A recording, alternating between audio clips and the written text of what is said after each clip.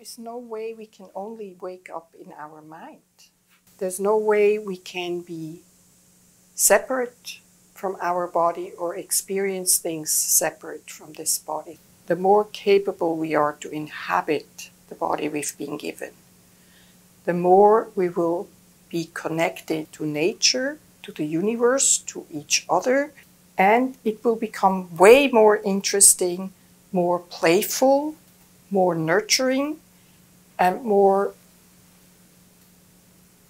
just worth living. And that's what I hope for all of us to discover together.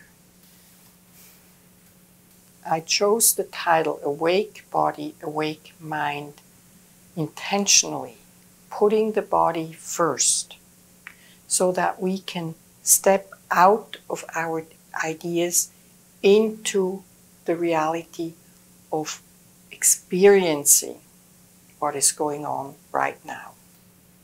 The movements of my hands while I'm sewing or while I'm washing dishes is helping me to be in the present moment. So that calming down helps us start noticing patterns, creating a space where we can actually discover the being that is living its life through the body we have been given.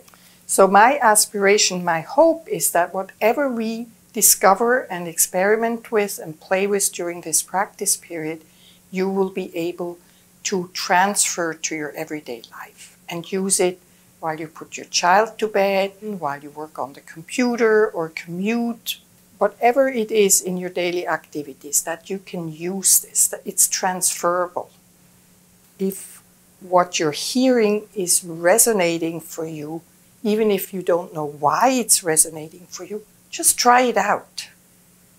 As an online participant, you will have access to weekly small groups with a practice leader to discuss class topics in your practice live streamed classes and Dharma talks, recordings of all Dharma talks and classes to view or listen to at any time, and an online Zendo to sit with others each morning, Monday through Friday.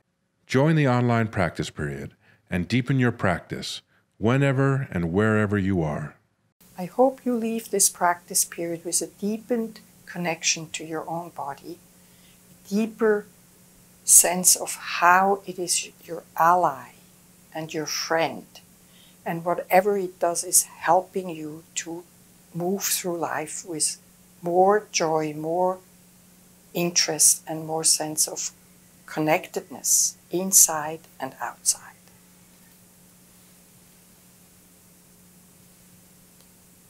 Thank you very much, and I look forward to seeing you in the fall for the practice period.